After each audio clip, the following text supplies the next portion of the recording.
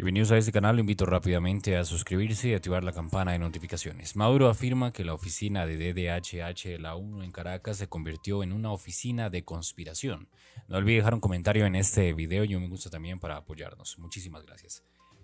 Nicolás Maduro ha afirmado este lunes, días después de anunciar la expulsión del personal de la Oficina de Naciones Unidas para los Derechos Humanos, que este organismo se ha transformado en una oficina de espionaje y conspiración y ha aseverado que no permitirá su vuelta hasta que no respete la soberanía de Venezuela y pida disculpas. Esa oficina técnica y algunos de sus voceros rompieron los términos, eh, términos perdón, los principios del acuerdo firmado, violaron la letra y el espíritu de la Carta de la ONU. Todos se fueron del país el sábado. Afortunadamente, y así será hasta que esa oficina no respete la letra de la ONU, no respete la independencia y soberanía de Venezuela y no rectifique y pida disculpas. Ha declarado, Maduro ha explicado que ha estado trabajando en el país latinoamericano desde 2019 cuando estaba Michelle Bachelet en el cargo de alta comisionada de Naciones Unidas e hizo una visita a Caracas donde se reunieron en el Palacio de Miraflores y firmaron un documento para la creación de una oficina de asesoría técnica. ¿Qué opina de esta información? Nuevamente los invito a suscribirse. A continuación vamos con más noticias. Gracias por estar acá. Noticias al día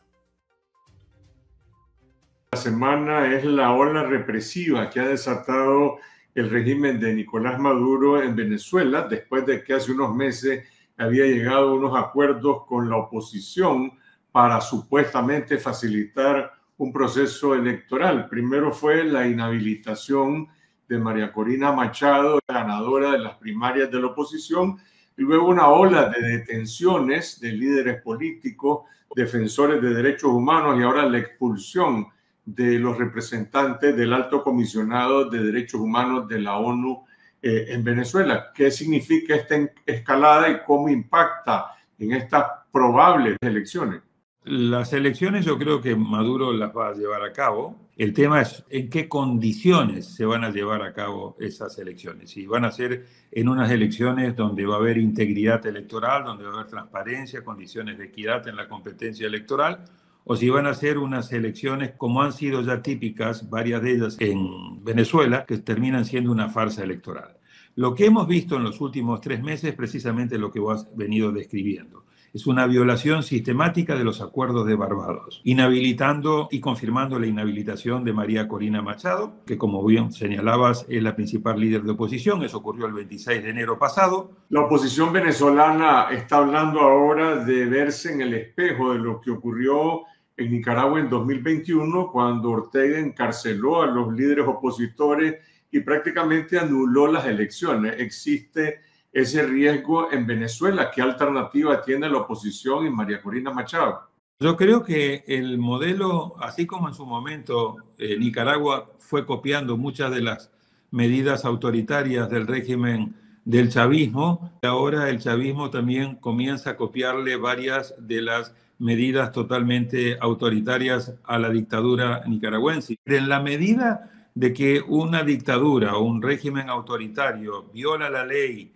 viola la constitución, eh, detiene de manera arbitraria, eh, reprime, eh, lleva a cabo elecciones sin ninguna garantía y no pasa mayor cosa, esto genera un efecto contagio, un efecto de simulación y que eh, entonces Venezuela dice, bueno, si, Nicaragua lo hizo y la verdad no pasó mayor cosa, ¿por qué no lo voy a hacer yo? El tema central es, es cierto que el régimen de Maduro le tiene temor a las sanciones, porque esto obviamente le complica, eh, por un lado, todo el tema económico en una situación muy difícil como la que está eh, Venezuela, pero también le complica su plan que era de volverse a insertar internacionalmente y volver de una manera u otra a darse un barniz de que el régimen quería buscar una salida democrática. Sus relaciones con Estados Unidos y luego la firma del Acuerdo de Barbados el año pasado. Bueno, todo esto lo tiró por la ventana por una razón muy simple. Porque si hay algo que Maduro le tiene por encima de todo, es miedo a ir a unas elecciones con garantías porque sabe que la va a perder y si la pierde va a perder el poder. Así que ahí comienzan a echar para atrás y comienzan a hacer lo que ellos saben hacer mejor, que es reprimir, inhabilitar, etcétera, porque no quieren ir a unas elecciones con plenas garantías porque saben que tienen un altísimo nivel de riesgo de perder esas elecciones y consecuentemente perder el poder. Lo que estás diciendo es que no hay condiciones para una elección competitiva bajo el régimen dictatorial de Maduro. Estados Unidos le dio un plazo hasta el mes de abril para que restablezca los compromisos de los acuerdos de Barbados. Ya adelantó Maduro que no le importa lo que diga Estados Unidos. ¿Tiene alguna incidencia América Latina, la OEA, algún otro espacio para restablecer este proceso o simplemente se va a imponer la impunidad y se cancelan unas elecciones competitivas en Venezuela. Ya hemos visto que estas decisiones muy arbitrarias de la detención de Rocío San Miguel, de la inhabilitación de María Corina y otras, llevaron a una reacción de crítica, eh, Argentina, Uruguay, Ecuador, Paraguay, pero tenemos que ver qué pasa, por ejemplo, qué va a hacer eh, Petro, por ejemplo, y sobre todo qué va a hacer Lula, eh, porque aquí es, cierto, es muy importante lo que puede hacer y lo que debe hacer Estados Unidos. Estados Unidos ha probado de todo, desde la administración de Barack Obama, luego la administración de Trump, luego eh, probaron lo de Juan Guaidó, que fue reconocido por error de 50 países, incluso se llegó a hablar en algún momento que estaban todas las opciones sobre la mesa, incluido una invasión militar hubo garrotes, hubo zanahorias y la verdad que la situación siempre llega al mismo punto, que es cuando el régimen tiene que hacer las concesiones de verdad para garantizar elecciones con transparencia, se echa para atrás. Entonces vamos a ver qué pasa en la OEA. Habrá que ver si se consiguen los votos suficientes para aplicar la Carta Democrática Interamericana, cosa que hasta ahora no se pudo, y habrá que ver qué hace Estados Unidos a partir del 14 de abril, cuando se vence este plazo de seis meses que se, se dieron mutuamente. Pero también Estados Unidos está en su eh, mm, proceso electoral, con sus elecciones del 5 de noviembre.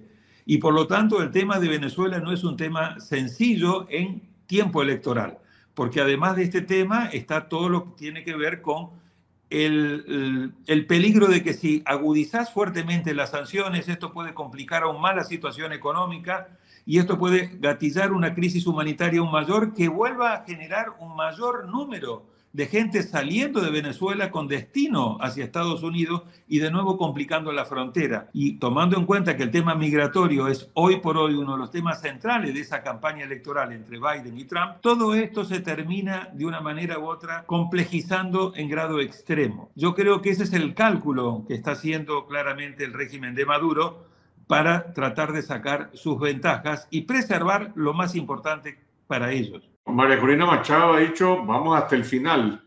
Es decir, sigo siendo candidata, tengo el respaldo mayoritario. ¿Qué opciones reales tiene como líder de la oposición frente a este bloqueo y al reconocimiento de que el régimen no acepta una elección competitiva con ella y posiblemente con ningún otro candidato que le vaya a derrotar? Me parece loable eh, la actitud de María Corina, me parece muy valiente, pero el problema es que a la hora de la verdad, si el Consejo Supremo Electoral no la inscribe en la papeleta, ella formalmente no va a poder participar. Así que me parece bien no bajar los brazos, seguir siendo muy combativa, diciendo vamos hasta el final, pero en algún momento la oposición va a tener que plantearse dos cosas. Uno, si no están dadas las garantías, las mínimas garantías de competitividad del proceso electoral, ¿vamos a la elección o no vamos?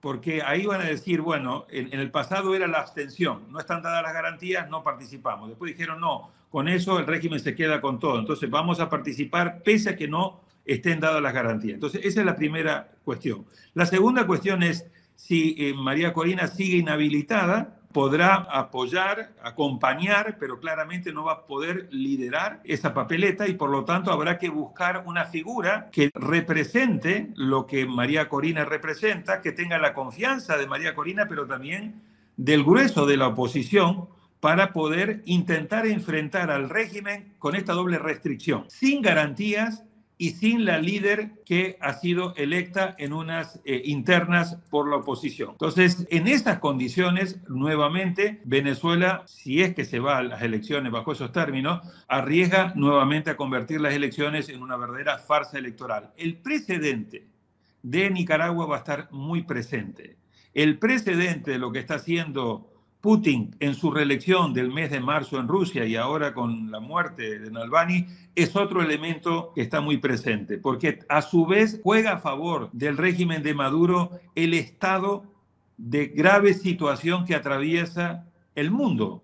Con puntos geopolíticos muy calientes, con la guerra en Ucrania que continúa, con la guerra en Gaza que continúa, con la confrontación entre Estados Unidos y Chile y el debilitamiento del sistema de Naciones Unidas y el empantanamiento que tiene el Consejo de Seguridad, que es incapaz de poder tomar una decisión, juegan a favor de la lectura que yo creo que está haciendo Maduro. Bueno, vamos a pagar un precio, quizás un precio alto, vamos a ver después cómo nos recomponemos, pero salvamos lo más importante, que es no perder el poder.